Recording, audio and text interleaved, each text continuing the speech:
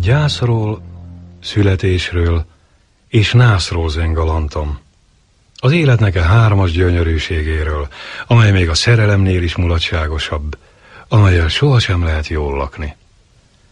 A lakodalmi tánc piros arcú forgatagában a poharak összecsendülnek, az öreg embereknek örömükben, hogy nem őket vitte el a kaszás, kipirosodik az arcuk, egy boldog örökös már próbálgatja is a szekrények zárját, de mi nem örököltünk semmit, s így fájdalommentes szívvel megyünk el azok közé, a magánosok közé, akiknek még halottjuk sincs. Legfeljebb saját magukat fektetik minden este koporsóba, hogy reggelre csodálkozva ébredjenek. Se nem víg, se nem szomorú ez a regény. Csak olyan, mint az élet a legtöbb pesti háztető alatt.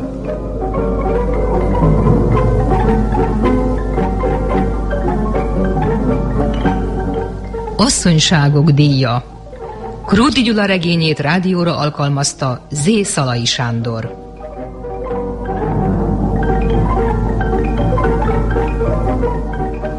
Valami nincs rendben itt a háznál.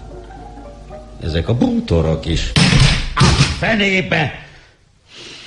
Ha a feleségem szegény élne, és látná ezeket a csipke függönyöket, bizony Isten elsírná magát.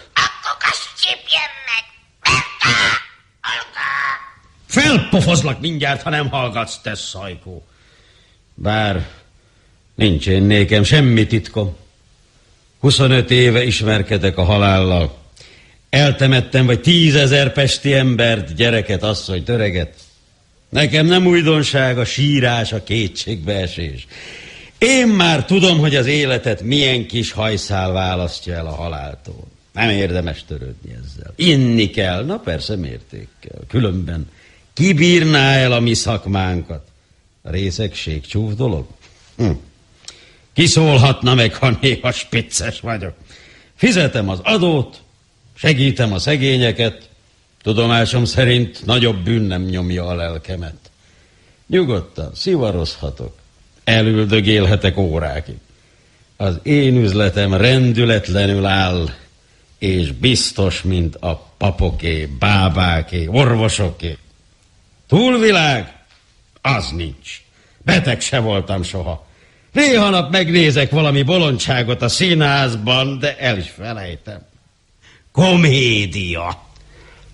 Komédia. Hogy?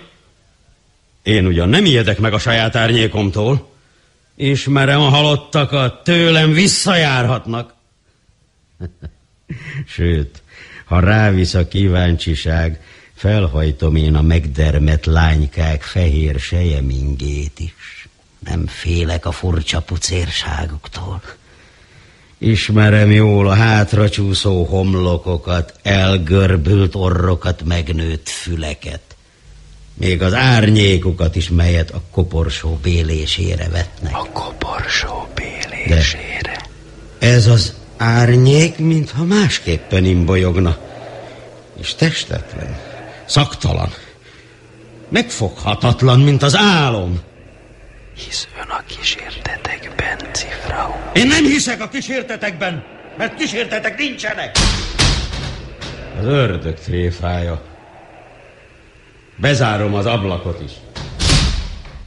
Olga! Berta! Hallgass, te! Na, a gazdád lefekvés előtt rágyújt a napi porcióból egy szivarra.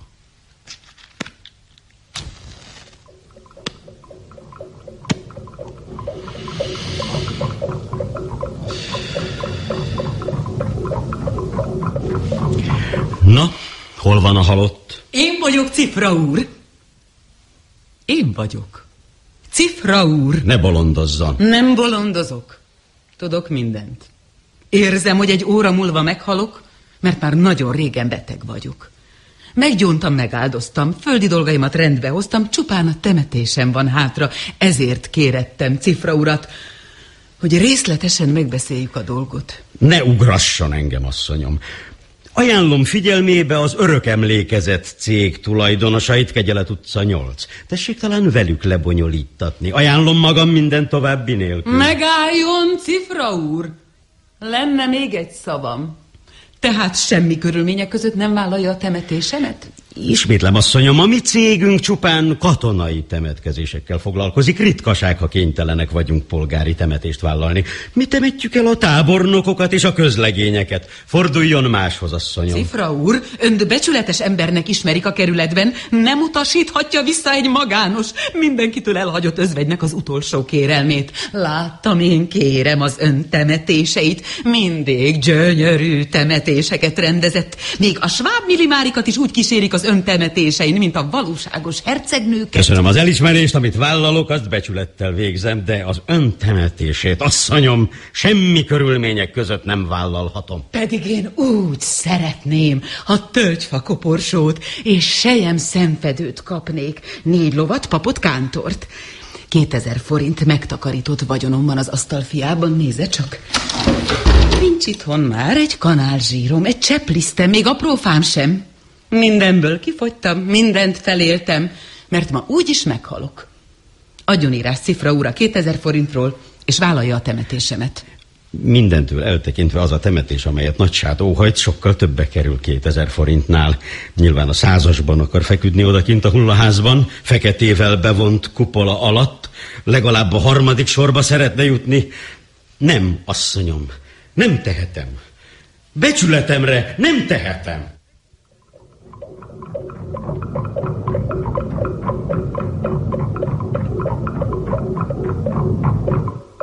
Jaj, jó, hogy jött Cifra úr, ezt meg kell gondolnia. Mit akar? Az özvegy nyomban meghal, ha nem teljesítjük. Utolsó kívánsága az, Hogy én temettessem el. Már az özvegynek is megmondtam, hogy nem vállalom. Úristen, nem vállalja, nem vállalja. Na, Isten nevében. Először kiállítom a mai számlákat, utána meghallgatom Stefanek jelentését, és már itt sem vagyok. Mennem kell a paphoz. Szenti! Az özvegy! Itt az özvegy! Ha nem vállalja a temetésemet, itt halok meg a boltba. Kérem, kérem! Mi a neve? Szabad a bankókat? Köszönöm, mi a neve? A nevem özvegy, Krúz Károlyné. Stefanek, tintát, papírost. Ja, ja, Tehát meghalok. Istenben boldogult özvegy Krúz Károlyné. Köszönöm.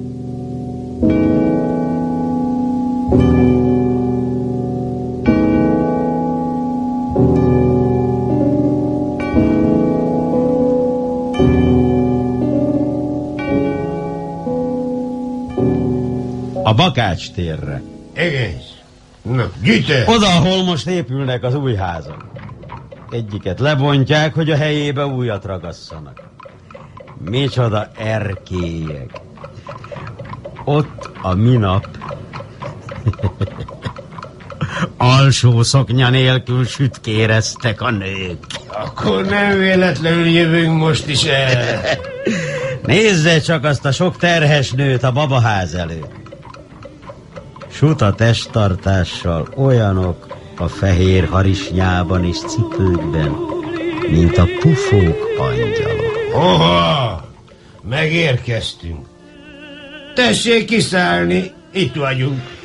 Itt a templom mellett várjon, mindjárt jövök. Csak megbeszélem a tisztelendő úrral a mai temetések rendjét.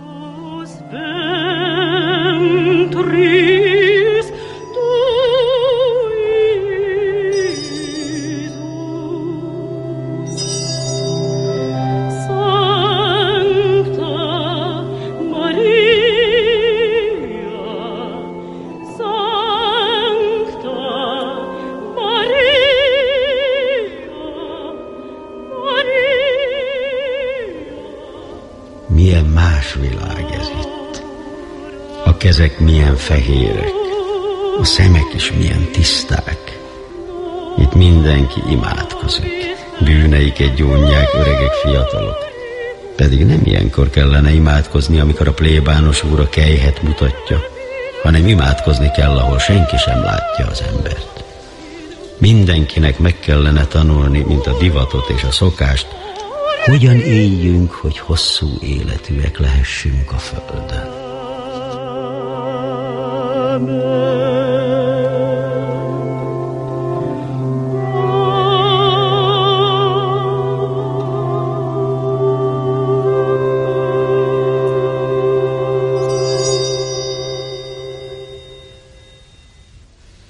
Értse meg, Cifra úr, most nem érek rá beszélgetni. Esküvő lesz. Akkor várok a plébános úrra. Szép volt. Gyönyörködtem a tisztelt hölgy énekében. Nincs szebb opera, mint a Traviata. De hiszen nem azt énekelte. Nem tesz semmit. Olyan volt, mintha a tévet nőből énekelt volna. Áj, a tévet nőből Valéri Violetta. Ha egyszer színpadon énekelhetném. Sajnos az igazgatók nem kíváncsiak a hangomra, így aztán kénytelen vagyok a magánéletben végigjátszani a tévet nő szerepét. Te ringettét, ilyen szép nőért érdemes volna a Ferencvárosba költözni. Mit beszélek, én itt benszülött vagyok. Ismerem a kisasszony múltját és jelenét, amely elismerést érdemel. Köszönöm a bókot, de most nincs időnk. Kezdődik az esküvő.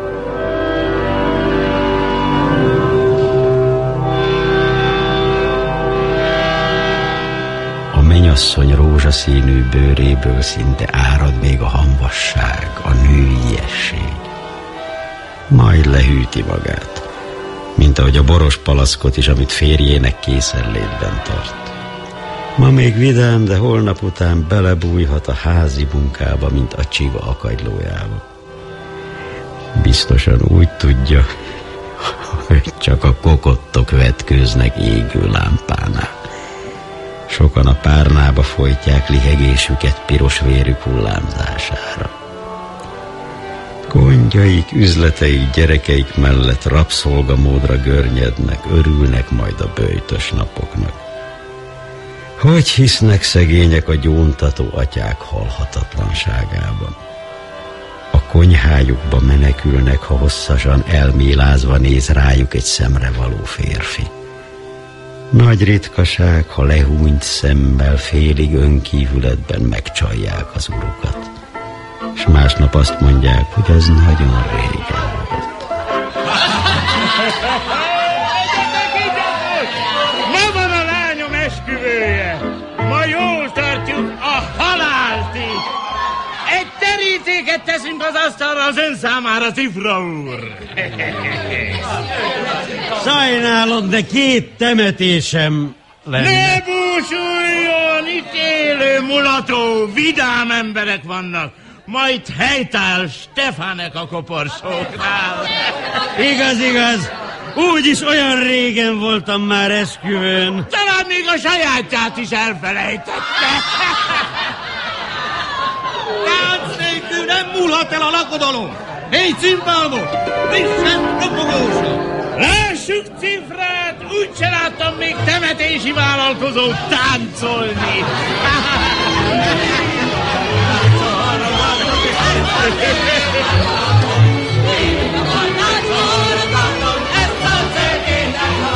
Jöjjön, Cifra! Jöjjön csak bátran! Családi körben mindenki úgy táncol, ahogy tud!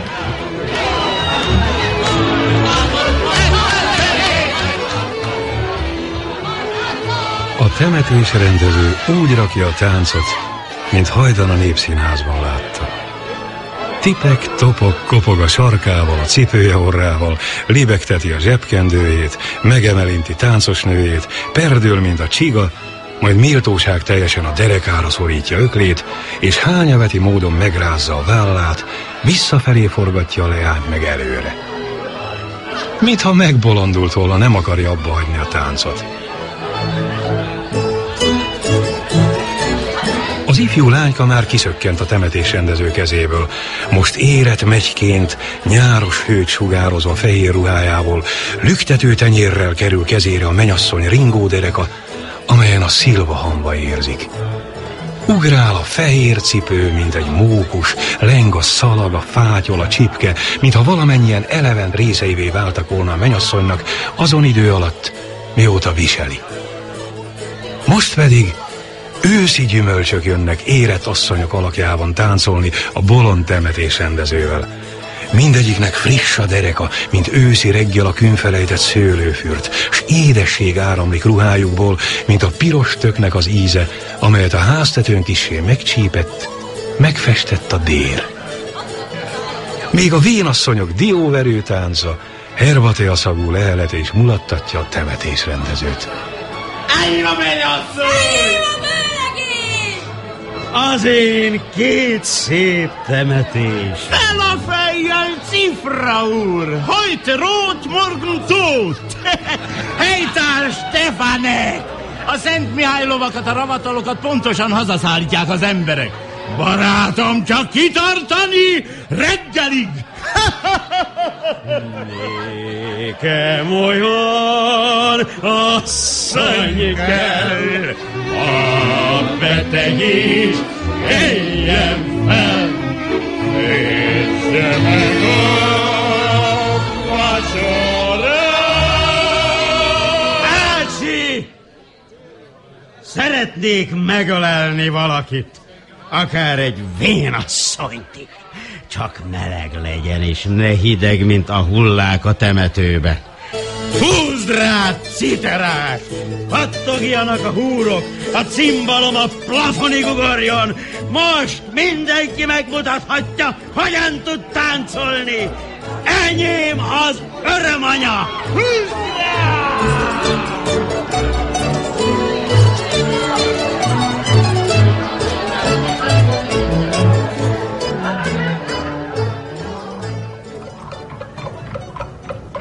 Megint a Frank Jeremiás utcájába, cifra úr.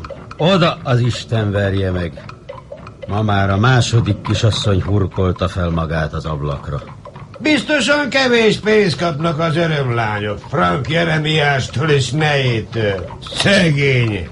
Ennél a mesterségnél jobbat is választhattak volna. Csak nem minden nap akad itt öngyilkos. Szemét és drágakő, rongy és bíbor hentereg a Pesti utcán.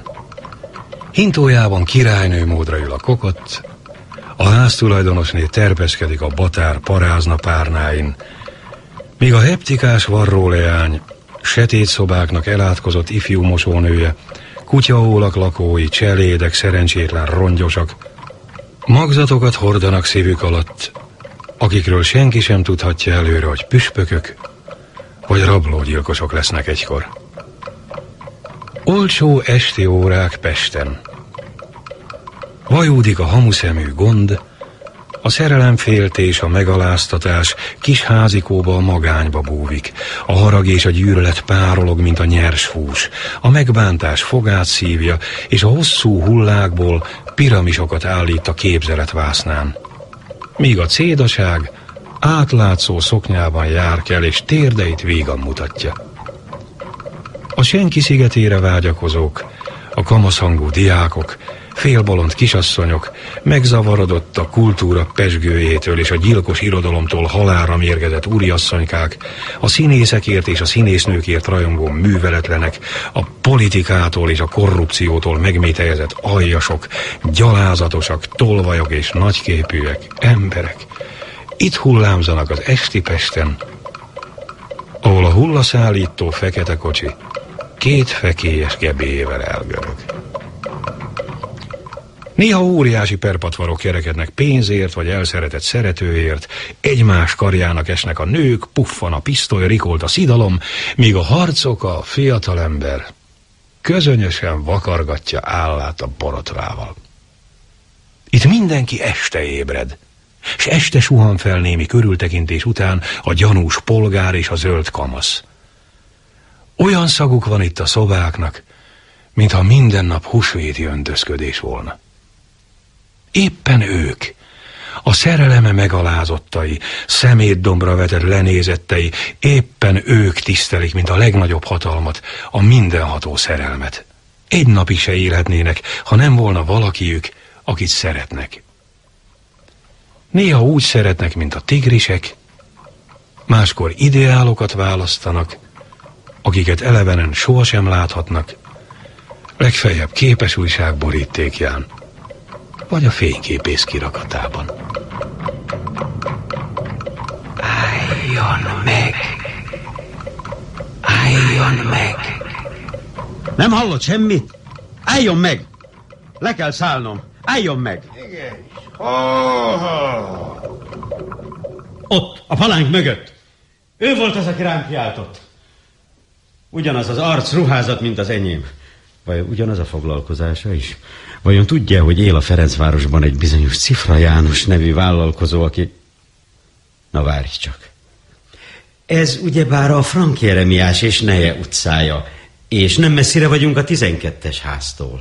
Valóban, uram, ez Frank Jeremiás és Neje utcája, és valószínűleg közel vagyunk a 12-es számú házhoz. Köszönöm, uram. Kérem, uram. Nem tudhatnám meg, uram, hány óra van? Nagyon szívesen, uram. Kilenc óra van. Kilenc, kilenc. Ön ismeretlen ebben az utcában, uram, amíg én minden nap itt vagyok. Ha valami útbaigazítással szolgálhatnék. Véletlenül tévedtem ide, de mondja kérem, miért kiáltott rám, amikor a kocsin ültem? Ön képzelődik, uram. Én nem kiáltottam önre. Képzelődtem. Egyáltalán nem szokásom a kiáltozás. Világosan hallottam, hogy valaki a nevemen szólít, mégpedig olyan hangon, hogy kénytelen voltam leszállni a kocsiról. Uram, ismétlem, nem szokásom a kiáltozás. És most hagyjon utamra, és ne kövessen. Én nem követem önt, ellenkezőleg ön lépett az én utamba. Méltatlan dolog volna, ha tovább folytatnám ezt az utcai civódást. Volt szerencsém! Tehát kicsoda ön, aki nem szűnik meg terhemre lenni? Tehát még mindig nem ismersz meg. Én vagyok az álmod. Ostobaság. Ne bosszankodj és ne haragudj. Azért találkozunk, mert nem sokára végleg el kell válnunk. Meghalunk mind a ketten. Mit, hogy én? Az emberek mielőtt meghalnának, találkoznak megelevenedett álmokkal. Én vagyok az, aki azt a sok furcsaságot, bolondságot, tréfát, fajtalanságot, paráznaságot elkövettem.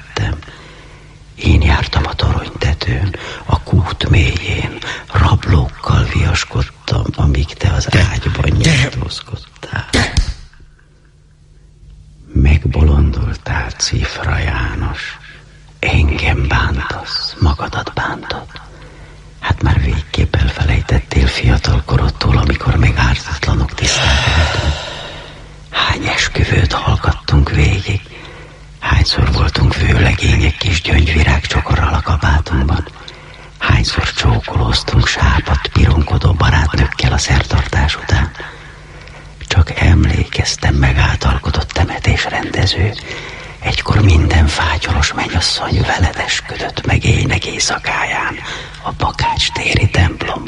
Emlékszem, nem. Arra sem emlékszel, amikor a Viola utcában kocsmáztunk. Kövér asszonyaiktól félő polgárokkal ittunk barátságpoharat. Csak a Viola utca hálószobáinak titkát szerettük volna megismerni, s többé nem lett volna előttünk rejtély az élet, a mindennap az emberi cselekedet. Emlékszel? A Pává utcában káromkodott egy hölgy éjnek éjszakáján, mint egy huszár strázsamester, pedig csak aznap ment férjhez. De az újdonsült férj ügyetlenül fogott kötelességéhez. Kélyes kiáltások, boldog dörbögések, elfolytott jajgatások, izgatott csillapító szavak hallatszottak a Lilium utca ablakai mögül. Igen. Midőn esküvő volt az utcában. Igen, mindig jó szívű ember voltam, és sajnáltam a gyenge női teremtéseket a brutális férfiak miatt. Hagyjuk, Cifra úr, az álszenteskedést. Mi ketten jól tudjuk a magunkét. Míg napközben szomorú, ünnepélyes és meghatott orcával viseltük foglalkozásunk fekete ruháját, éjjel loppal egy más világi, tehát való életünkben csak olyanok voltunk, mint a fekete nyakkendős kamverebek a tűzfal csúcsán, amint lehetetlen táncokat lejtik a szürke kis nőstény körül. Költők voltunk, akik éhesen pennát rágnak fehér papíros felett. Fajt kakas módjára durraktunk. Emlékezzen csak, Cifra úr, a piros nyakú hentes nére, akit sok éjszaka elrabolt a férjem elől. Élete végéig tömlöcben ülhetne a szerelmi erőszakoskodásokért, amelyeket szendergésében elkövetett. Annyi idegen sonkát senki sem lopott a kéményből, mint ön, Cifra. Az egész kerület tanul rá, hogy mindig tisztességes ember voltam.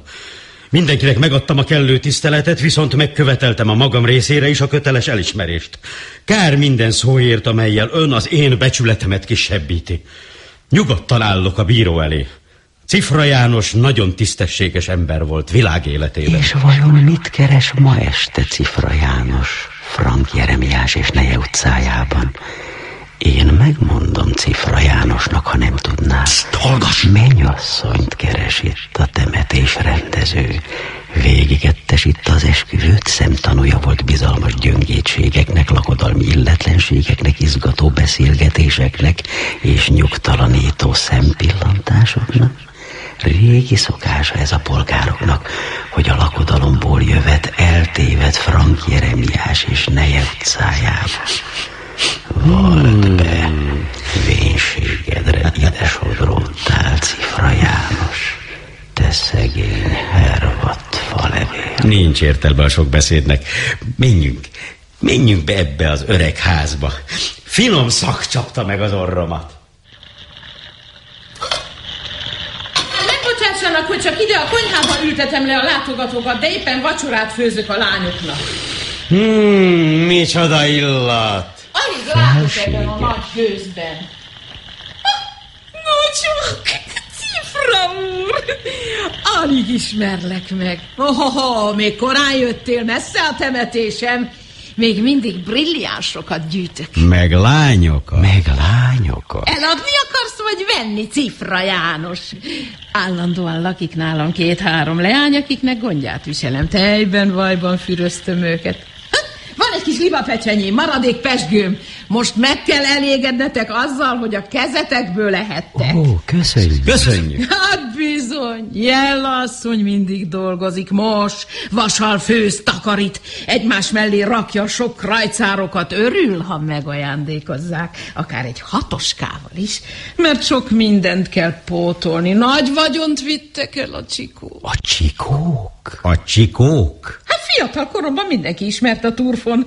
Messziről intett Battyányi Eleonora, amikor meglátott. Janek hozzám járt vacsorázni. Az öreg szemere a szakállába nevetett, amikor vicceket mondtam neki. Jaj, jaj, jaj, aztán szerencsétlenségemre magam is játszani kezdtem. Hm? Azért főzök most a konyhán, hogy a százezer forintomat visszakeressem. Már nem sok hiányzik belőle. Hm? Na, egyetek kovászos uborkát, magam raktam el a múlt héten. Olyan, mint az üveg. Mint az üveg. A barátodnak olyan becsületes arca van, hogy szívesen idevenném üzletvezetőnek. Szép foglalkozás. Törőközőket hordani, mosdótálat kitölteni, ajtót nyitni a látogatók előtt. Az volna a foglalkozásod. Van-e kedved hozzá? Hadlám a fazékban mi fő? Arról tőle fokhagymás. Kövér marhahús szokzöldséggel, velős csonttal, paprika, karalábi, répa, zeller. Ezt az illatot éreztem a kapuban. Meghiszem azt. Ilyet még Ferenc József sem eszik. Az én királyomé ez a leves. Minden nap mindig főtt marhahúst eszik, amikor fel kell. Besajnálom, hogy sohasem lehettem nők barátja. Azt hiszem, ez a legszebb pálya a világon. Az én kedveseimnek mindig jó dolguk volt, amíg hűségesek voltak hozzám. Én aztán ápoltam, tápláltam őket, kitisztítottam a cipőjüket, kimostam a lábra valójukat, vasaltam rájuk, még zseppénzt is adtam nekik. Olyan parfümöt locsoltam a zsebkendőjükre, hogy még a szomszéd kerületben is megismerték az én illatomat. Ilyen asszony mellett. Tán még meghalni sem lehet. Ha egyszer megürül a hely, fogadjon el babájának. Úton, útfélen megdicsérik a férfiak a derekam, a lábam, a vállam. Ám de ezek a férfiak tévednek. Az én vérem olyan nyugodt, mint a tó. Én már nem igen teszek semmi bolondot hátralevő életemben. Komoly nő vagyok. És én komoly férfi. A kora ellen nem volna kifogásom. Szeretem az öreg embereket. Öreg? Hallott, cifra? Csak ne legyen nagyon kövér. Kövér? Ne köpködjön, ne krákogjon, horkoljon, disznolkodjon, fulladozzon egy férfi. Hát nem is. Részegségében se feledkezzen meg magáról, a foga és a keze legyen tiszta. Lehetőleg gyakran járjon a gőzfürdőbe, a ruháját ne pecsételje le liba pecsenyével. De nem ám. Ne tapossa szét a cipőjét, ne izzadjon. És vallásos legyen, mert én hiszek a jó Istenben, aki eddig minden bajomban megsegít. Jelasszony! A szakramentumban van a törülköző. Mossa ki a szemét is, az akasztón van a törülköző, és az én házamban ne káromkodjon Henrik. Jaj, megmondtam neki a magamét. Sokszor összevesznek? Á, mit érdeklődik? Szeretném, ha már kimondaná, hogy miért törte ide a nyakát ezzel a hallal, néma barátjával. Na felej, miért? Hát csak eljöttünk volna éppen úgy, mint mások. Véletlenül erre jár. Ha, itt nem lehet leskelődni, kíváncsiskodni, mert úgysem tudnak meg semmit. Itt csak jönni és menni lehet. Ki nem állhatom a hosszú járatos vendégeket. Elég hosszú járatú volt az uram, a hajós kapitány. Elég volt belőle. Menjenek a szalomba. Hát, gyerünk. Kaparsós. Ereszkedj négy kézlábra. Ide, ide. Itt az ajtón van egy hasadék. Ez még nagyobb kémlelő nyílás. Látsz? Persze, ha a hasadékhoz nyomom a szemem. Még hallok is. Hallgatózol. Figyelj csak.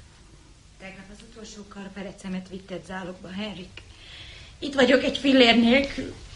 Maradj legalább addig mellettem, amíg a kórházba visznek a mentők. Majd az öreg asszony mindent elintéző. Jártas már ilyesmiben. Henrik, ha most elhagysz, megölöm magam. Nem hozom a világra. Aha. Jaj, de szerencsétlen vagyok.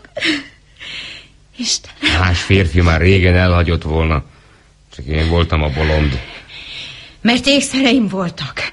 Natália, mi lesz a szobával? Itt rendnek kell lenni. Az ágy végébe itt nem szokás teljes ruhát dugni. Tavaly nyáron másképpen beszélt az asszonság is. Erik, Erik, ne hagyj el. Hmm. Isten veled, Natali. Sok szerencsét! Te rabra! Verj meg Isten mindent! Mindenkit, aki ennek a szobának küszöbét átlépi. Verd a gonosz kéjelgőket, a kabzsi butákat, testüket eladókat, a szépkufárokat, a fiatalokat és az öregeket. Verd meg őket vaksággal, tébolyjal és arcpekélyekkel. Szedd le a húst a fogaikról, hogy többé ne kacaghassanak, amíg én szenvedek. Bűzös víz folyjon a szemükből, fülükből, félek az orrukból, és ne találjanak orvoságot a patikában. Hagyjuk ezt az eszeveszett nőt, megzavarodott a féltéstől. Nézzünk a ház vidámabb tájaira. Vajon meddig fő még az a leves? Gyere, nézzük meg.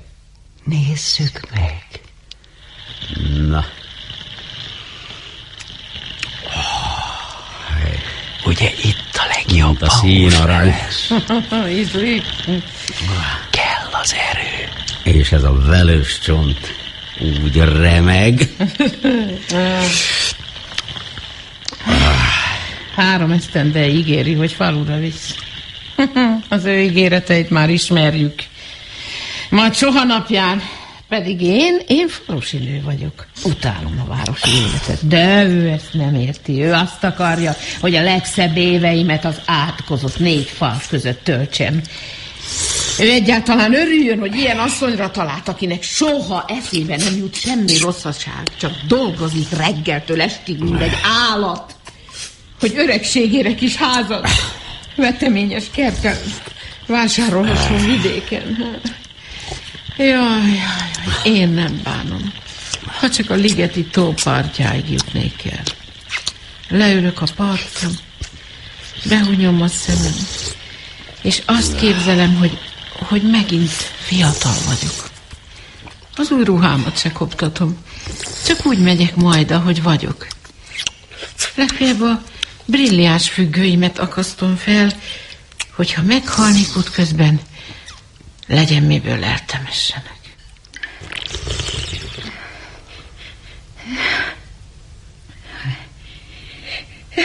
Nem hallod a nyögéseket? A szerencsétlen Natáliának jó fájdalmai vannak. Készül megszülni gyermekét. Jó fájások. Majdnem kifordul a szeme fehére szegénynek. Úgy erőlködik, mintha egy hegyet kellene eltolni a helyéről. A szülés nem sokára bekövetkezik. Kövessük Natáliát a szülészetre. Üdvözlégy, Mária! Balasztál vagy teljes. Az Úr van te veled. Áldott vagy te az asszonyok között. És áldott a te méhednek gyümölcse, Jézus. Hogy én vagyok az arany. Asszonyok Szűz Mária. Ugyanazt akarom magával tenni, amit Timár Mihály tett Noémival. Egy rejtett házba szeretném vinni önt, amely lehetőleg régi legyen. Olyan időből való, amikor még udvarházakat építettek Magyarországon. Bozontos, elvadult kert a ház mögött, amelyben tavasz jöttével fülemüle mulattatja párját. Míg őszidőben elhalkuljon minden, vasderes legyen a fű, átlátszó a pagony, méla a gaj, mozdulatlan a falevél, álmodozó a gyalogos fény, a pók nagy hálót szőjön, a nagy fákról lebújjon az aranypénz, mert rájöttem, hogy a legjobb a világtól elvonulva élni. Olyan toronyból nézne a járókelőket, amely toronyban nem léphet be senki akaratom ellenére. Mindennek és mindenkinek hátat akarok Malasztal vagy teljes. Csak magának él. Az Úr van te veled. Natália. Áldott vagy te Nem érdemlem én azt, Dubli úr, hogy ennyire szeressen engem. Hm. Tudok egy házat, éppen olyan házat, amilyenben az aranyember lakott. A Gellért egy oldalában van, Megbocsásson, és Dubli úr, hogy nem megyek a Gellért hegy oldalába lakni. Én Henriket el nem hagyhatom. Minket szorosabb kapcsok kötnek már összesen, hogy elválhatnánk egymástól. Hát, tudtom, Henrik elfelejtett önnel házasságot kötni az Anyaszent Egyházától előírt törvények szerint. Ez igaz, Jézus. De azt hiszem, gyerekünk lesz. Imádkozz a Nem baj. a. Azért én tovább is szeretem magát, Natália.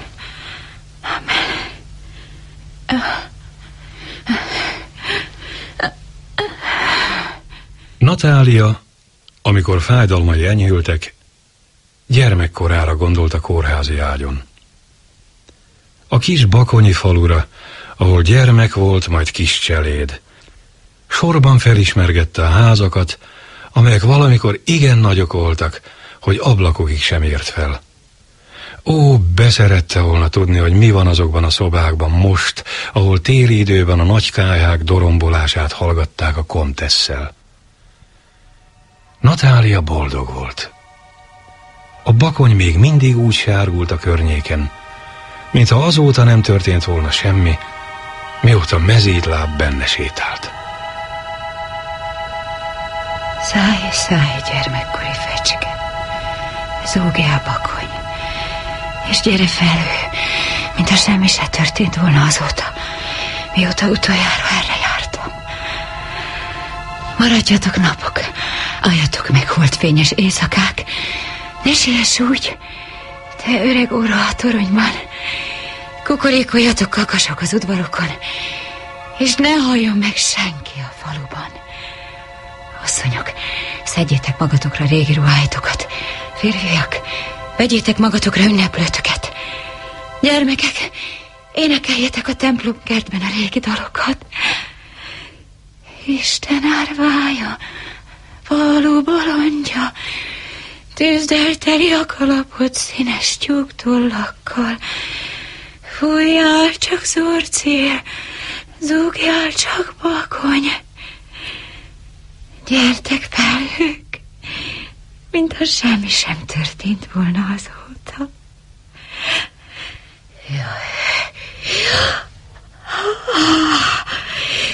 Üdvözlégy, Mária! Malasztal vagy teljes? Az úr van, vered.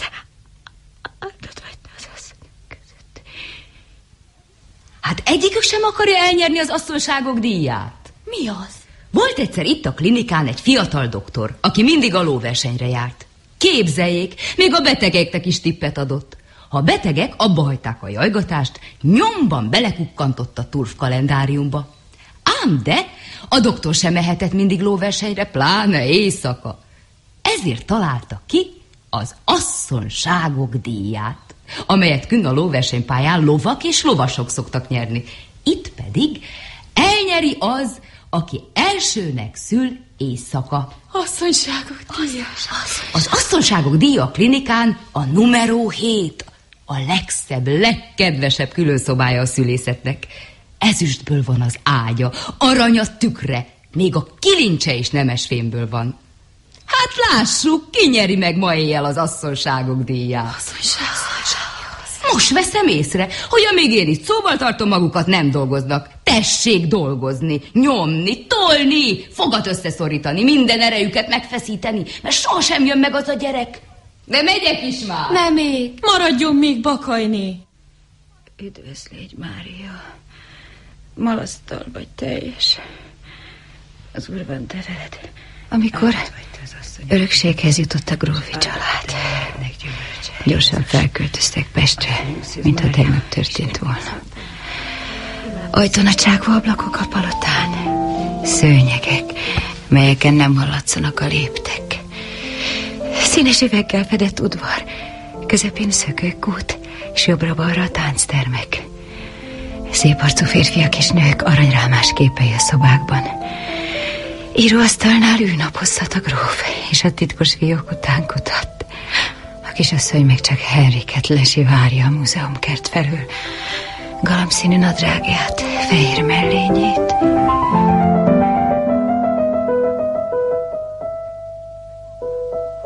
Engedjék meg a táncos lábú napsugárkák, hogy tiszteletem jeléül felolvassam a legújabb költeményemet. Istenem! Gyerünk a völgybe, túl a réten, az úgó vén malomhoz át. Nézd, nézd, elönti földön égen az est áttetsző bíborát. Kis ablakod, mint tűzgolyó ég, sugárcsík reszket a tavon, fehér sziklán nem harmatos még a sarjú. Jer, jer, angyalom! Úgy szólt, mint a tilinkó szava, a hegedűi. Na, maguk már megkapták, de mit kapok én? Azt ígérték nekem, hogy körülnéznek a házban, és ha találnak régi szarvasbőrgamástrikat, kesztyűket, nyakkendőket, amiket az öreg gróf úr már nem használ, összeszedik és elhozzák nekem. Elfelejtettük, bocsánat, majd legközelebb. Jóságos Mária, könyörög értem. Jaj, jaj, hát sose lesz vége. Ne gondoljon rosszra vagy a halálra. Ezek a fájások áldásosak, és tíz percenként ismétlődnek, majd szűnnek. Üdvözlégy, Mária! Áldott a te mélyednek gyümölcse. Az lett a vége, hogy Dubli úr vette át az ügyek intézését, és korán sem részesültünk annyi figyelemben és költeményben, mint annak előtte. Ő csak mindig a borokról beszélt. A boroknak azért olyan sokféle a nevük, hogy megkülönböztessük őket, mint az embereket is. Ha valakit érmellékinek vagy hegyaljainak hívnának, nem lehetne róla rosszat feltételezni. A neveknek szaguk van, melyek nyomban megütik az orrunkat. Életerős, vérpiros, harsogó hangú és nadrág szíjukkal bídelődő emberek jutnak eszünkbe, ha egyes tájakról hallunk, ahol a jó borok teremnek. Azt hisszük, hogy Tokajban csupa zöld viaszkos, piros és arany derekú üveg emberkék sétálgatnak az utcán, a Tiszaparton. Hát vegyük például Nádot, Szerednyét, Tarcalt. Messziről úgy látszik, hogy itt mindenki füstös attól a füsttől, mely a pincék szeledő lyukán szivárok ki. Oda benn Mécs világít, és füstölt kolbász oldalas nagy falatokba megy az emberek bajusza alá. Csorba pohárból bort öntözgetnek a gégéjükre sűrűn, s hogy nincs is szegény vagy boldogtalan mádon, ahol a bor hatása alatt mindig Rákóciról beszélnek, míg tárogató hangzik a hegyoldalban. Sőt, a képzelődés szerint nyerges lábú, piros topános, bőszkezrény ilonák sétálnak az esti korzó. Hm. Vegyük badacsony borát, bús magányos délután egy sötét kis ivóban. Soha se tudtam meghatódás nélkül szájamra venni a magas, meredek ányos hegyborát, sem csopak szőke hablány taposta nedvét. Régi annadálok, izzadt lány derekai, lebegő harisnya kötői, ügyesen forgó bokái jutnak az eszembe. A vereshajú bunyevászok, szőke verseciek vér sötét bora nem volt azért mindennapi ital. Pedig a bika vér, mely elöntött a borok fogyasztása alkalmával villanó szemű, szúrós nőket, az arcfesték alatt hevesen tüzelőket, tigriskarmú menyecskéket, lázas ajkú fiatal vagy koros asszonyokat hozott magával, mint a déli szél, a tűzijátékos vihart. Ezért inkább könnyű, őszi fényként sárguló, nem nagy ünnepélyességet követelő, parád és szójva vizével szívesen barátkozó kertibort öntögettem kocintásokhoz szokott kis poharakba. És hosszan üldögéltem. Hallgattam a bor csendesen duruzsuló meséit. Egyszer a gróf úr nagy batáliát csapott. Kifizettek és kidobtak. Valami hűtlenséget és felbújtó szándékot róttak fel megbocsátatatlan bűnömül. Azóta sem volt szerencsém a kisasszonyt viszont látni. Hm. Henrikhez menekültem, aki az első napokban örült is fiatalságomnak, bátorságomnak. Később már mindig máson járt az esze, mint kellett volna. Elelcsellengett, és engemet napokig bezárva felejtett abban a kis szobában, melyet Óbudán béreltünk. Étlen szomjan vártam haza.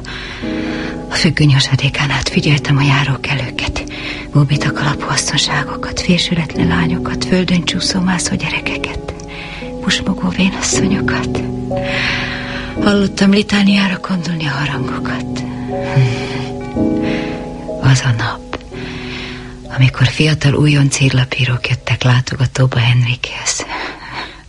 A legutolsó divat szerint öltözködtek. Nagy hajat hordtak. Arcukat simára borotválták, rövid pipát szívtak, hozomra kártyáztak, és az ablakfüggönyt puszta kettelésből leszakították. Különös nyelven beszéltek, mint a zsebtolvajok.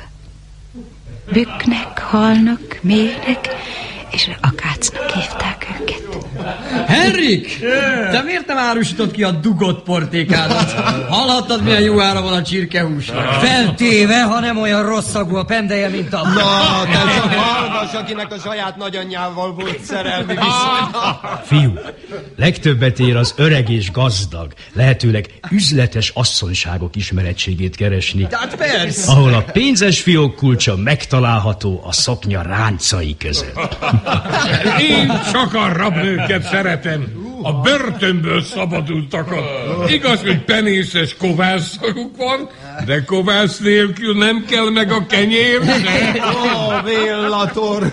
Tán az anyagyilkos haverdamariskáról mesélnél kalandokat, aki az MK kávéház legünnepeltebb hölgye lett kiszabadulása után. Á, Mariskából a sajtó csinált nagynőt. Az ilyen híres nőkkel csak azért érdemes a kapcsolatot fenntartani, hogy az ember alkalomattán üzletet kössön velük. Miféle üzletet gondolsz, Dubli? Jó üzletet, apá, amit már az öregek tanácsoltak szárnyira kelő ifjaknak.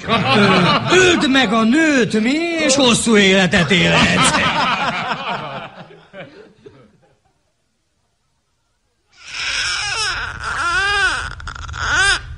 Natália, Natália, megnyertük az asszonyságok díját. Leány!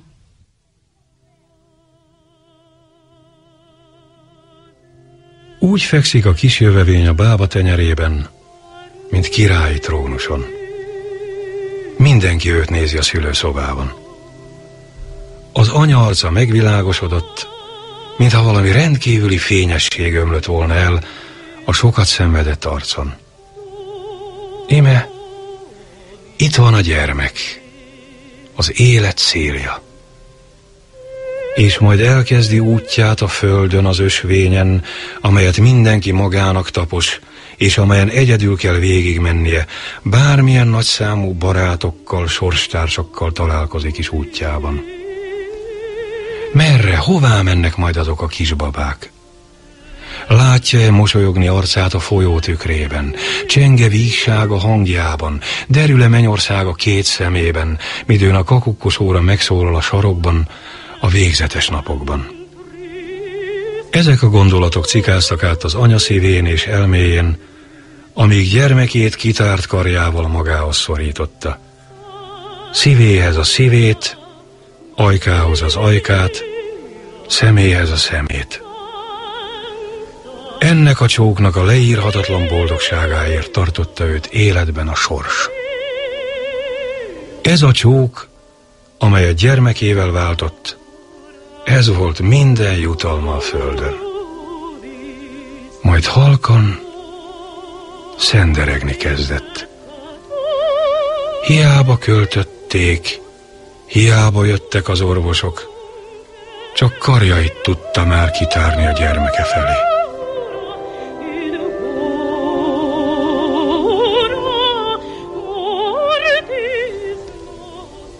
Cifra János és Álom könnyes szemmel léptek ki az utcára. Már hajnalodott. A bakástéri torony megvilágosodva állott a tér közepén, mint a lelkek lajtorjája. A temetésrendező észesen vette, hogy egyedül van. Barátja a hajnal jöttével búcsú nélkül elpárolgott mellőle. A temetésrendező senkit sem talált az utcákban. Homlokát törölgetve ment vissza a klinikához Cifra János. Becsengetett, és a bábasszonyt kereste. A leánykát, aki most született, én majd örökbe fogadom. Az anyát, aki meghalt, eltemetem. Körülnézett, hogy nem áll-e ismét mellette álom. Vajon helyeselnie szavait a titokzatos idegen? Valamely mellékutcában hangosan fütyürészett egy elkésett kísértet.